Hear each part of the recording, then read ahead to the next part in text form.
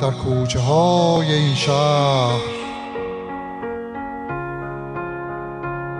دلم دیشب قدم می‌زد.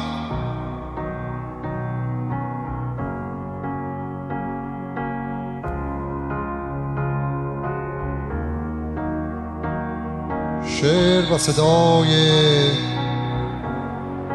عباس دهقان.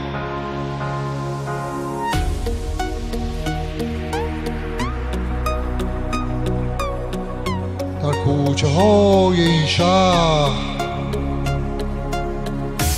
وقت مرگ آفتاب و زیر نور محتاب دلم دیشب قدم می‌زد. در کوچه های تنگ و باریک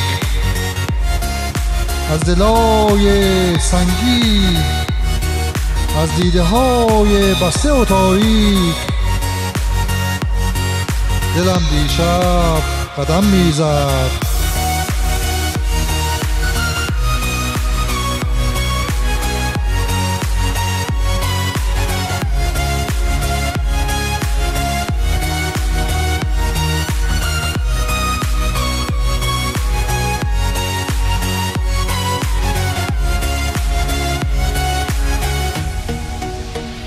از پنجره های فولادی و آهن.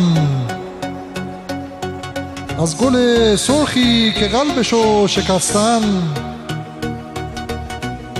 از گلای رنگ پریده که کنار خیابونا نشستن. دلم دیشب قدم می‌زد. رنج بیماران خسته. که چشم به چشم امید بستن پرنده های بال شکسته. پرستوهای شب که غمگینن.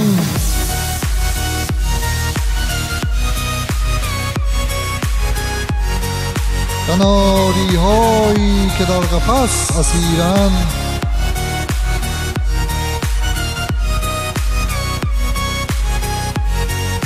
دلم دیشب قدم می‌زد.